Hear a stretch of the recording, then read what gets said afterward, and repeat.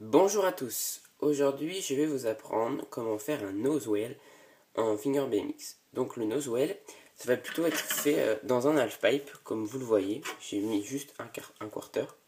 Et en fait la figure, à quoi elle va ressembler? Je ne sais pas si vous avez déjà vu la figure, mais c'est se mettre sur la roue comme ça, c'est-à-dire bloquer la roue avant, se mettre se caler comme ça, voilà, et repartir dans le halfpipe.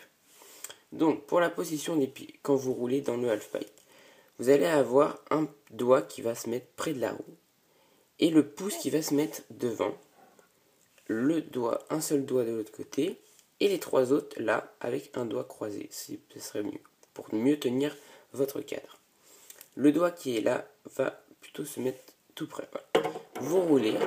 Dès que vous allez faire le nosewell, vous allez tourner un petit peu votre roue. Vous allez vous caler donc, comme ça voilà. Vous allez tordre en fait avec le guidon, comme ça. Vous pouvez faire des petits sauts.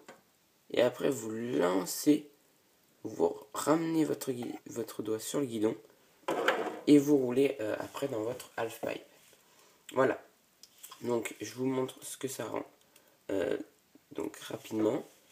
Donc, vous êtes dans votre half pipe. Vous arrivez là. Donc, vous roulez.